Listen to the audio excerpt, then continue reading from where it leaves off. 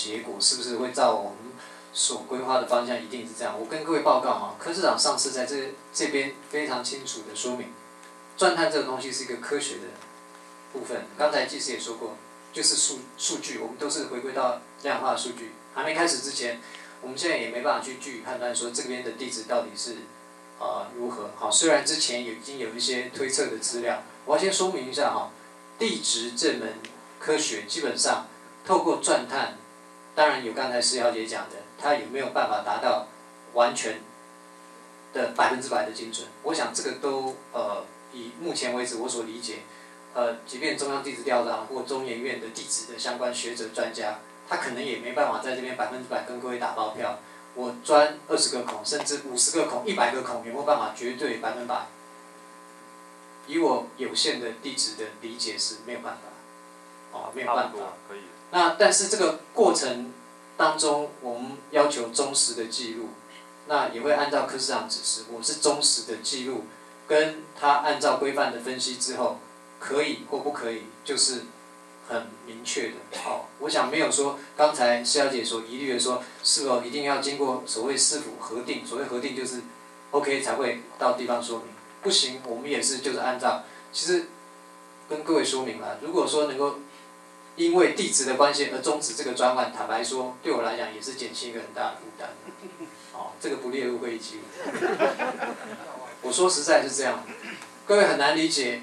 为了这个专案，我们办公室的同仁是怎么样在进行我们的工作，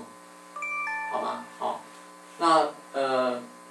但是无论如何，我们就回归到专业了。好，这个部分的话，呃，我还是重复哈，如果各位对于我们的钻探过程有疑虑，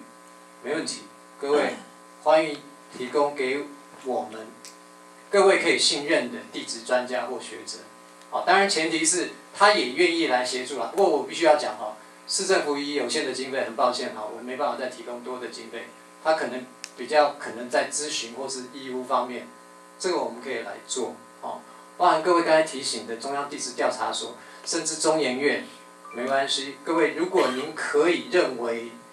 公平的第三方，哈，但是我觉得哈，这个前提是要信任我们德标厂商，按照我们的规范，我会要求他做完整的记录，哦，包括摄影这个部分的。就是说，这个部分的过程，我我相信各位还是要站在一个大家呃最起码的一个互信基础。如果你不相信，那可以各位，您可以在那边，我不反对各位，你就是尽可能抽空，各位就住在旁边，你大家要接力或怎样，我都没意见，但是不要干扰到他们工作。我们可以进到工地吗？啊？有办法进到工地，还是只是在围篱外？他基本上围篱围起来的地方有它一定的呃施作跟安全性的考量。戴安全帽可以可以进去吗？呃，我会我会建议同学你在旁边可以观察，好，如果啊你可以协助市政府来做这样的监督的话，我们也欢迎，但是请在工区的旁边，哦，这是为了你自己的安全，哦，也不要妨碍到他们的施工，好吗？哦，那诶，最后一位就带同学，你如果说有需要发言，那就呃。啊，啊，里长，啊，不好意思，不好意思，蔡里长，我这边呃还有另外两位里长，有没有要发言？不好意思，戴同学，这个你稍后一下哈，因为里长先来，不好意思，里长有没有要给我们指教的部分？哦，这样子是不是？我我可不可以补充再问一下？就是说，因为其实有很多那个地址哦，他可能会说我透过什么补强方式，那就可以增加它的强度怎么样？那我们也很怕说，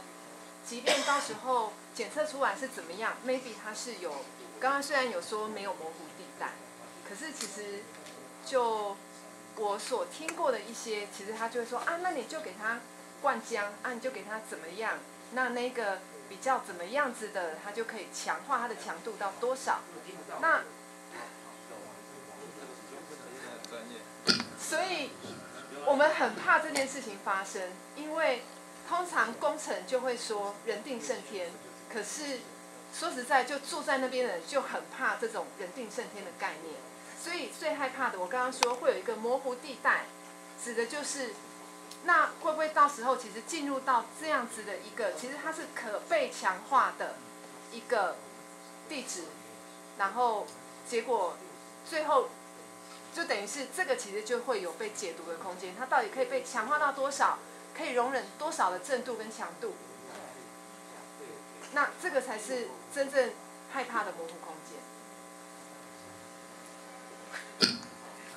一一般来讲，做地质钻探到最后，他做地质分析，他确实会提出说，这样的地质要怎么样做改善，才有办法达到开发。我想这是您刚才的问题了哈。那一般来讲是应该是说，第一个，他呃经过分析之后，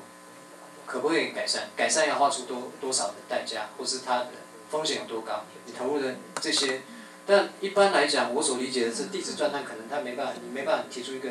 呃，当然技师可以补充啦，就是说你们提出的一个建议分析，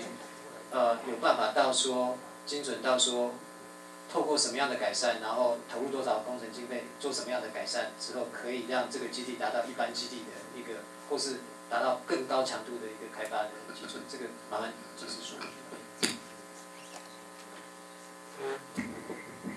其实哦，台湾真的就是地质状况不是那么好哦，所以其实就是很多地方我们也面临这样的问题，包括一些我们接的一些那个小的地质状态，我们要盖一个房子，单纯的一个房子，三层楼好了，我们都面临到说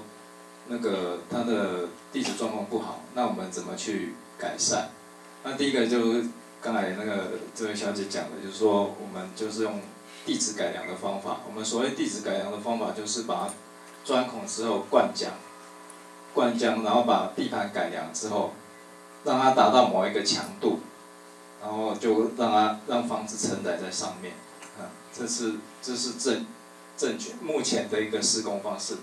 然后另外一个就是说，如果是浅层的话很弱，那深层很很强的话，那我们就让它承载力往下放在承载层，我们所谓的承载层，所以我们会用基桩，基桩把它把那个呃上面结构物的力量让它施施在那个呃比较好的岩盘上面，这目前解决那个就是说地质状况比较差的一个情况。那呃要怎么检视？这个都有检视的方法了，就是说，比如说灌浆之后，灌浆之后，我们可以再去钻一次看看，看它的强度达到多少，这个是一个方法，哎，那大概就是这样子，不晓得会不会回应到你的问题。那你说有模糊空间那个，其实很多法规都允许是这样施作的，哎，那你说这样就不能施作吗？这个。我不敢说，因为这个法规是允许这样试做的，而且目前很多也都是这样试做的。哎，那那回归到这个整整个案子，我们的角色也是钻探，钻探出来之后，那个呃设计跟设计的规划的部分，应该是由下一个规划规划团队去做，我们只是忠实的提出我们的钻探的一个结果给他们去做分析，哎，大概是这样。